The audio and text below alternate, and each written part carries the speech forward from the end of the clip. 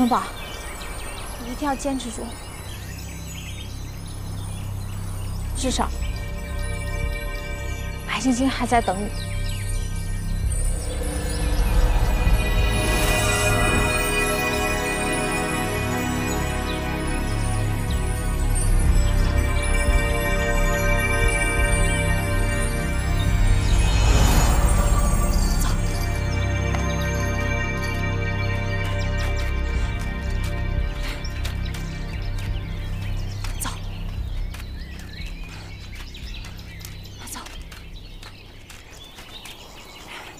这里，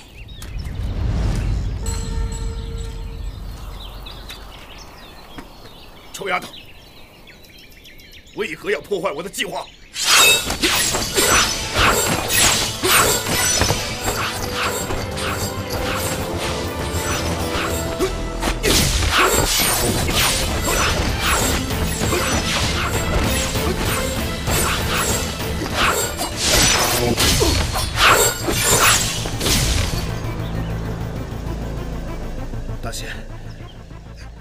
求你放过我，我已身处冥域，不能超生了。要是今日死于你的仙剑之下，就再也无法转世了。不杀你也可以，除非你给我个理由。你们跟我来。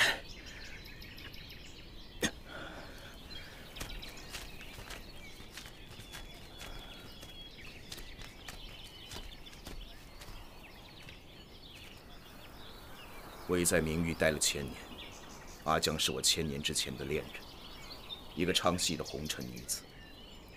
虽然我其貌不扬，但却真诚善良，不像纨绔子弟一样花心。我告诉阿江，等我考上武状元就回来迎娶她。我们非常相爱，也正是因为相爱，变成了伤害。阿江真的好幸福，有这么深爱他的人。可是我深爱的人却不爱我。当我考上武状元的那天，有人告诉我阿江移情别恋了，对象竟然是我最好的朋友。愤怒之下，我不听阿江任何解释，掐死了他。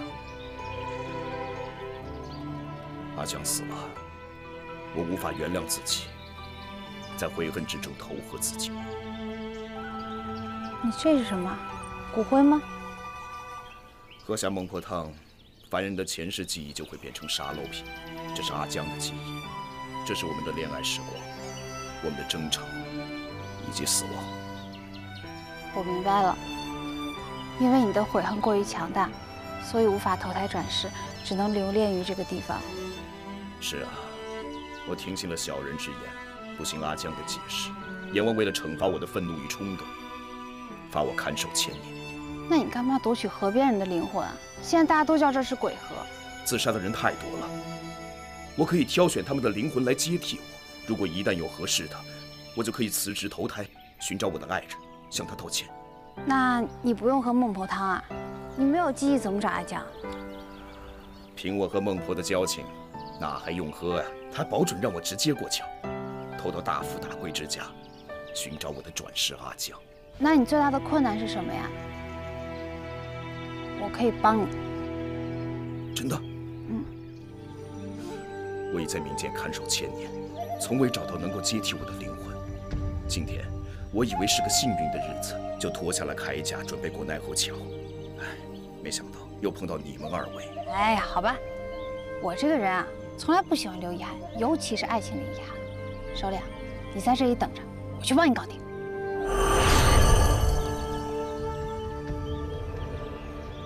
可以吗？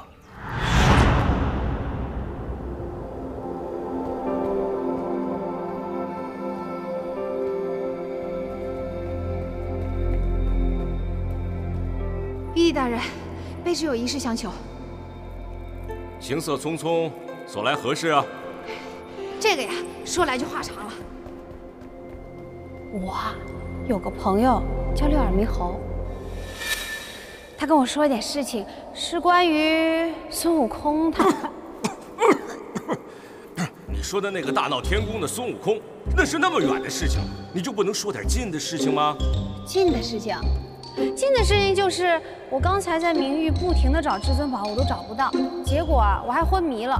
更奇怪的是，我醒了之后发现被人给踢了一脚。大胆！欲盖弥彰，欲说还休，你是在试探我？卑职哪敢啊！卑职只是希望玉帝可以取消明玉，释放明玉首领。这么小的事情，值得你去泄露天机吗？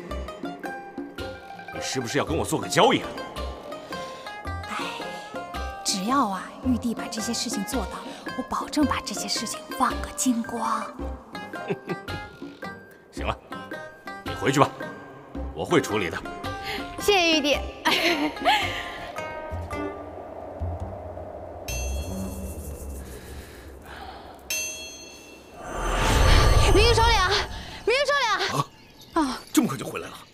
定了。我跟你说啊，首领，玉帝答应我了，他从此要取消名誉。真的？嗯。可是我感觉精神百倍，不像是要投胎的感觉啊。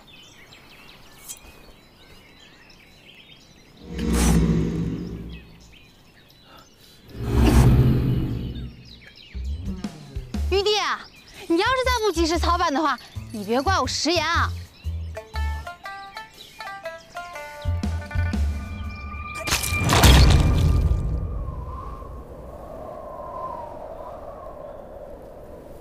已经感觉到死亡的气息了，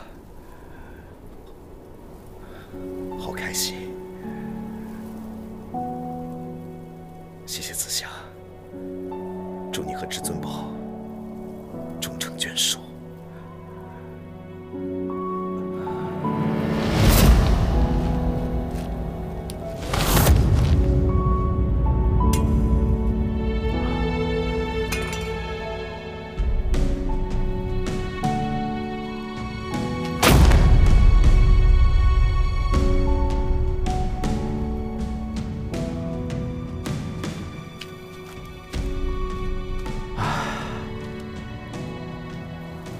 这个明玉统领也真的是傻，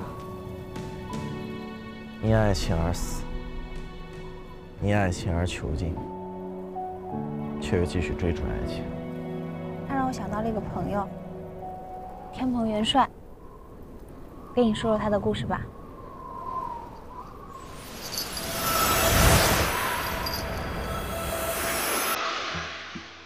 天蓬，私动凡心，觊觎嫦娥仙子，偷盗月光宝盒，连续犯下大错，朕不得不罚。臣甘愿受罚。请仙子替我斩断情丝，使我免受人世间的情爱之苦。